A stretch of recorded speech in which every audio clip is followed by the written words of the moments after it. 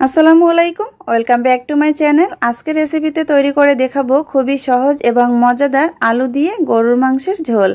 যারা নতুন একদম রান্না করতে পারেন না, ব্যাচেলার আপু এবং ভাইয়েরা, অথবা যারা প্রবাসে থাকেন, তাদের জন্য আজকের রেসিপি।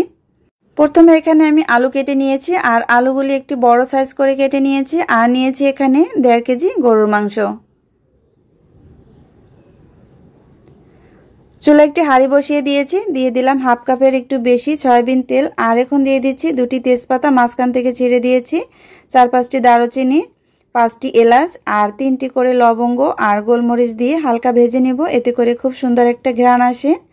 আর দিয়ে দিচ্ছি হাফ কাপের মতো এখানে পেঁয়াজ কুচি, এখন এই পেঁয়াজটাকে ভেজে নেব। তো মশলা আর পেঁয়াজটাকে একসাথে ভেজে নিতে হবে, এতে করে খুব সুন্দর একটি ঘ্রাণ আসবে। আর দিয়ে দিলাম চার টেবিল চামচ আদা রসুন বাটা। আদা রসুনটা ভেজে নিব, এতে করে এর কাঁচা গন্ধটা থাকবে না। কিছু সময় ভাজার পরে সামান্য পানি অ্যাড করে মিক্স করে দিয়েছি। এখন বাকি মশলাগুলি দিয়ে দিব। দিয়ে দিলাম চারটি শুকনো মরিচ, স্বাদমতো লবণ, এক টেবিল চামচ হলুদ গুঁড়ো, তিন টেবিল চামচ মরিচের গুঁড়ো। মরিচের গুঁড়োটা চাইলে আপনারা কমিয়েও দিতে পারেন। আর দিয়ে দিলাম দেড় টেবিল চামচ জিরা গুঁড়ো। এখন মশলাটা খুব ভালোভাবে কষিয়ে নেব। গরুর মাংস রান্না করার সময় ঝালের পরিমাণটা একটু বেশি দেওয়ার চেষ্টা করবেন। এতে করে মাংসটা খেতে কিন্তু অসম্ভব মজার হয়। মশলাটা কষানোর পরে এর মধ্যে দিয়ে দিলাম গরুর মাংস। দিয়ে নেড়ে চেড়ে খুব ভালোভাবে মিক্স করে নিব। আর মিক্স করে মাংসটা কষিয়ে নেব। তো এখন ঢাকনা দিয়ে ঢেকে দিচ্ছি। চার থেকে পাঁচ মিনিট পরে ঢাকনাটা খুলে নিচ্ছি। আর এর মাঝে আমি দুই একবার নেড়ে চেড়ে দিয়েছি। তো দেখতেই পাচ্ছেন, মাংসের ভিতরে যে পানিটা ছিল, সেই পানিটা কিন্তু সম্পূর্ণ শুকিয়ে গিয়েছে আর এ পর্যায়ে মাংসটা কষানো হয়ে গিয়েছে। এখন এর মধ্যে দিয়ে দিচ্ছি আলু। আলু দিয়ে নেড়ে চেড়ে মিক্স করে কষিয়ে নিব।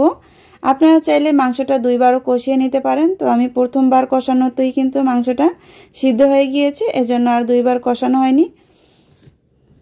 তো মাংস যত ভালোভাবে কষাবেন, আপনার রান্নার টেস্টটা আরও কিন্তু বেড়ে যাবে।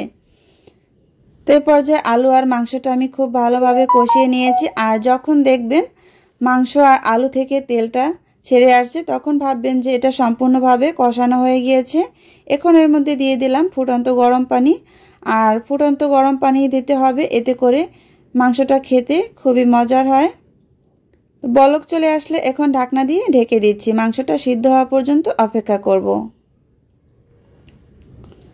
প্রায় পনেরো থেকে বিশ মিনিট পরে আমি ঢাকনাটা খুলে নিচ্ছি, আর এ পর্যায়ে কিন্তু মাংস আর আলুটা পারফেক্টভাবে সিদ্ধ হয়েছে, আর চুলার আঁচটা কিন্তু কমিয়ে দিয়েছিলাম।